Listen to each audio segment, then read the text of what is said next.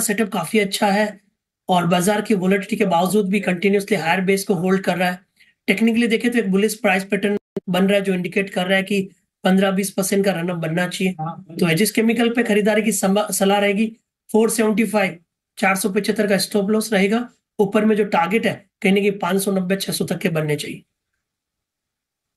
के तो edges logistics यहाँ पर आपको करनी है खरीदारी। 514 के आसपास यहाँ पर ट्रेड हो रहा है। 600 तक के जाने की इसकी पूरी क्षमता आपको आती हुई दिख सकती है। सुबह से ही स्टॉक में आपको एक्शन दिख रहा है। ओपनिंग पर भी अच्छी खरीदारी हुई थी और वहाँ से एक बड़ा स्पाइक आया था। थ्रू द डे गेंस भी होल्ड करते हुए दिख रहा है। एजिस लॉजिस्टिक्स इस पर करके चल सकते हैं आप।